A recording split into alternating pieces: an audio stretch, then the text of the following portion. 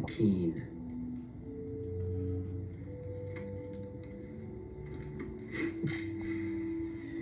As we all know, Lionel could be a bit of a curmudgeon, but he had the heart of a lion. I'll tell you a story about him. It was Christmas Eve last year, and uh, I was at Lionel's house making him dinner. We got to talking about the spirit of giving, and I said, Lionel, why are we just talking about it? Let's let's put the spirit into action. Let's go down to the mission.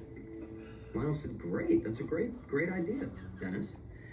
So we did. We went down there, and not only did we feed every last poor, miserable, precious soul, but we washed the feet of every man, woman, and child there. In the Spirit of Christ.